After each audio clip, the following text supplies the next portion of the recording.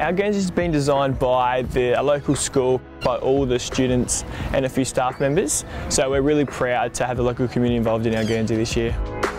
Indigenous round to me, it means that I get to understand and learn more about some of my teammates' cultures, but also learn a lot more about the round and about other teams' cultures and just learning about stories about where some of my teammates and other people have come from. Gilbert McAdam is a big name from our club that's trailblazed, but in most recent times, Wayne Milera, who's joined the Crows, and Izzy McKenzie, in my time at the footy club, has been a rock for the younger Indigenous players. I'm a massive Crows fan growing up, so Andrew McLeod was my favourite player growing up.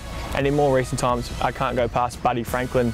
He's an icon of the game in my generation, and I've loved watching him play.